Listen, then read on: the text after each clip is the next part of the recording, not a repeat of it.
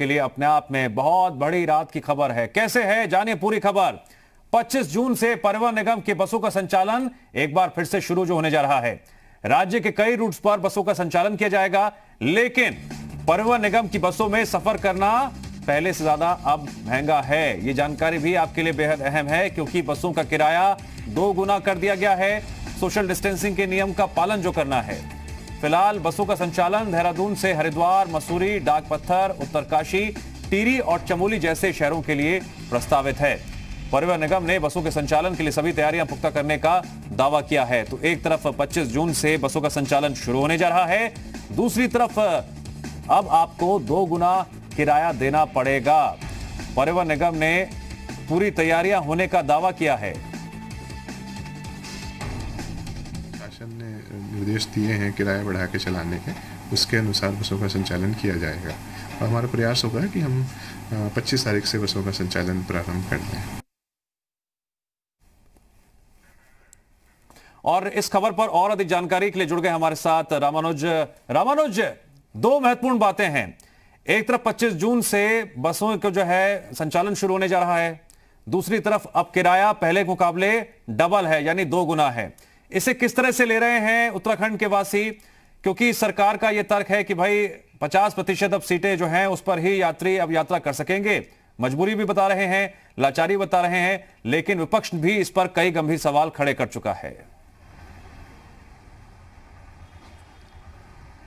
दिव्यांश आपने दर्शकों को बहुत डिटेल में ये ज़रूर बता दिया कि आखिर में बसों का संचालन 25 जून से शुरू होने जा रहा है, चूँकि परिवहन निगम की बसें आखिर उत्तराखंड के लिए इतनी महत्वपूर्ण क्यों हैं? क्योंकि पर्वतीय क्षेत्रों में, चाहे उत्तरकाशी है, चमोली, टिहरी, पौड़ी और रुद्रप्रयाग, और इसके बाद में कुमाऊं में पिथौरागढ़, चंपावत, बागेश्वर, अल्मोड़ा, इन क्षेत्रों में ये बसें लाइफ लाइन का काम करती है। इन्हीं बसों के ज़रिए चाहे स्थानीय लोग हों, सैलानी पर्यटक, सबका आवागमन होता है। बाकी जो संचालन होता है, वो प्राइवेट टैक्सी का होता है। लेकिन सबसे सुरक्षित और सस्ती जो सेवा है यातायात की, वो उत्तराखंड परिवहन निगम की है। और इसलिए एक बार फिर से 25 जून से बसों का संचालन शुरू होने जा रहा है। ये इस वक्त की पूरे प्रदेश की सबसे बड़ी खबर है। दूसरी दर्शकों को ये भी लग रहा होगा कि आखिर ये बसों का संचालन कहाँ कहाँ होगा? तो प्रदेश में होने के साथ, यानी प्रदेश के अलग अलग शहरों में, अभी फ़िलहाल दूसरे राज्यों के लिए बसों का संचालन नहीं होगा।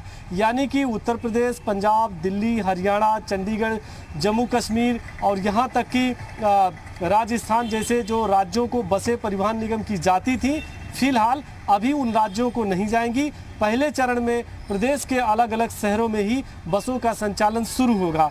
और दिव्यांश एक तस्वीर भी दिखा दें, ये मसूरी बस अड्डा है और यहीं से ज़्यादातर जो सैलानी आते हैं पहाड़ों की रानी मसूरी जाने के लिए, ट्रेन से उतरने के बाद 100 मीटर इसके पास में रेलवे स्टेशन है और इसके बाद यहाँ से वो बैठकर सीधे पहाड़ों की रानी मसूरी, डाक पत्थर और ऋषिकेश को जाते थे।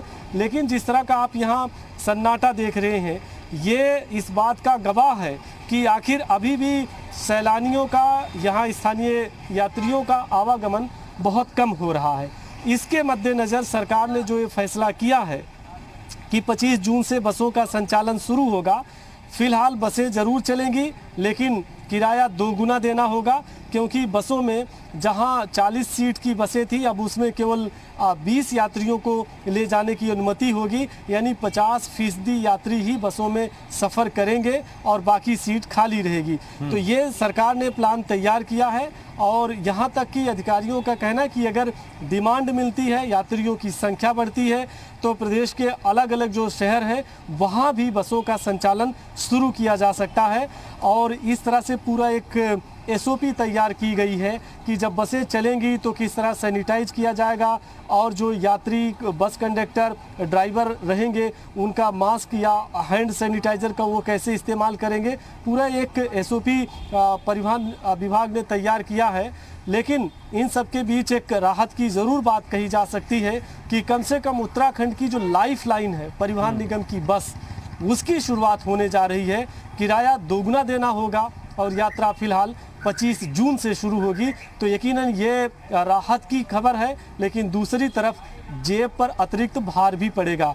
अब इसको जब 25 जून को यात्री आएँगे और बसों से यात्रा करेंगे तो उस वक्त उनका रिएक्शन बताएगा कि आखिर ये जो सरकार का फैसला है उनके लिए मुफीद है ये ये या फिर उनको जो अतिरिक्त भार देना पड़ रहा जी, है। जी, जी, बिल्कुल ये उनके लिए यानी कि उनके जेब पर भारी नहीं पड़ेगा चल सकता है। तो इस तरह से ये पूरा प्लान तैयार किया गया है। ठीक है रामानुज आपने विस्तार से पूरी जानकारी भी समझाया उसके लिए आपका बहुत बहुत शुक्रिया।